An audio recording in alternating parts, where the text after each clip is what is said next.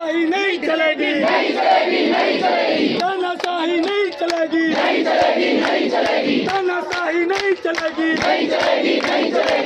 प्रशासन के साथ दो बार की बैठक होने के बावजूद भी कोई समाधान नहीं निकलने पर वोकेशनल टीचर बीते शुक्रवार की शाम को सीएम हाउस का घेराव करने के लिए निकल पड़े। सेक्टर पाँच धरना स्थल पर प्रदेश भर से पहुँचे वोकेशनल टीचर ने जोरदार नारेबाजी कर सरकार पर आरोप लगाए। वोकेशनल टीचर के प्रदर्शन के मद्देनजर मौके पर भारी पुलिस को तैनात किया गया। वोकेशनल टीचर धरनास्थल से निकले। तो पुलिस ने बैरिकेड लगाकर उनको रोकने की कोशिश की। प्रदर्शनकारी टीचर बैरिकेड तोड़कर आगे निकल गए। इसके बाद पुलिस ने होटल बेला विस्टा के पिछले सड़क पर बैरिकेड लगाकर प्रदर्शनकारियों को रोक लिया। इस दौरान पुलिस और वोकेशनल टीचर में जमकर धक्का मुक्की हुई। मौके पर मौजूद प्रशासन और पुलिस के अधिकारियों ने उनकी मुलाकात वरिष्ठ अधिकारियों से करवाने का आश्वासन दिया।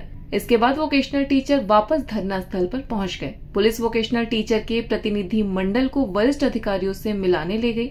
आइए जानते हैं कि क्या है वोकेशनल टीचर की मुख्य मांगे।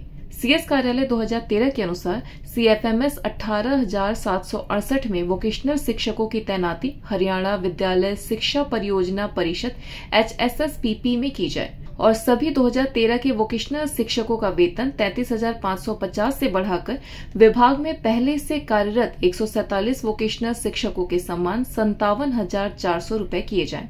इसी के साथ हरियाणा स्कूल शिक्षा परियोजना परिषद में डेवलपमेंट वेतन बढ़ोतरी और सर्विस बॉय लॉज 2013 में शामिल करके नियमित किया जाए और साथ में कैशलेस मेडिकल सुविधा भी दी जाए न्यूज़ डेस्क एनवा